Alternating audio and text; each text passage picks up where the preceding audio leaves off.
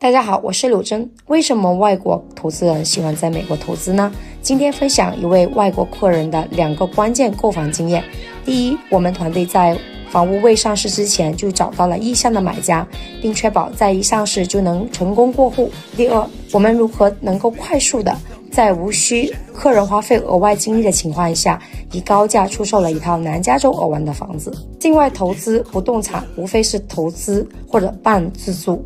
今天分享我们团队最近成功代理的一套南加州尔湾的房子的故事。几年前，这位客人购买了这套房子，目标是为了孩子上大学居住。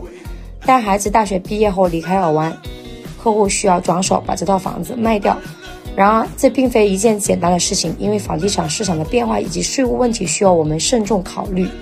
南加州房地产涨幅很大，众所周知，美国的税大家都知道是全球数一数二的，所以房产增值税需要考虑在内。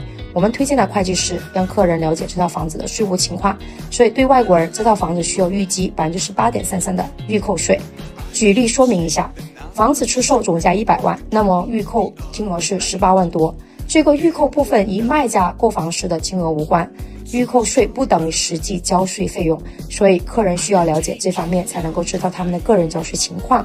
外国人不用预期的也有例外，下期我们可以详细做一期相关的视频。接下来的是我们张罗维修保洁上市了。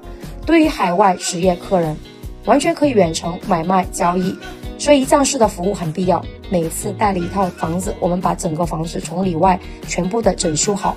包括全屋油漆工作、院子维修、地毯整理等等，都是我们团队来安排和管理。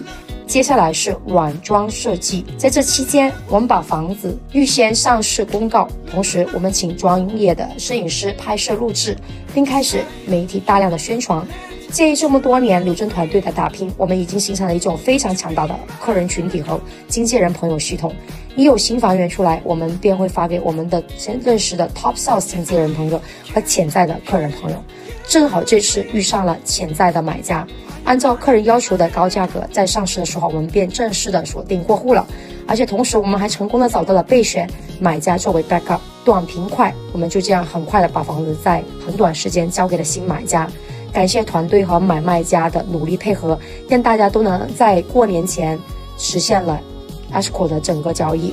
我是柳真，您购买的不是一栋房产，而是一种生活方式，请记住我们一群有温度的地产经纪。我们下期再见。